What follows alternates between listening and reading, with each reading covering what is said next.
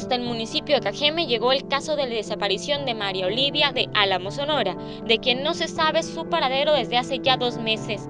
Manifestantes con pancartas en mano se plantaron a las afueras de Fiscalía, fueron recibidos y se les apoyará con más búsquedas, las cuales se suman a las más de 20 que han realizado. Venimos aquí a hablar con las autoridades esta, ya, a que pedirles más más apoyo para más búsquedas, más queremos un resultado. Ya van como, como más de 20 búsquedas y no, y no hay nada. Nos dijeron que nos iban a apoyar, que iban a ir a, a, hacer una búsqueda para allá. Esta no es la primera vez que se manifiestan por la resolución del caso. El pasado 16 de octubre marcharon en Álamos, en donde lo recibió el alcalde, quien les apoyó para que se transportaran a Cajeme y acudieran a las oficinas de Fiscalía en Ciudad Obregón. Su expareja, el supuesto autor de la privación de la libertad de María Olivia, sigue detenido. Sin embargo, no ha dado información del paradero ni el estado en el que ella podría encontrarse.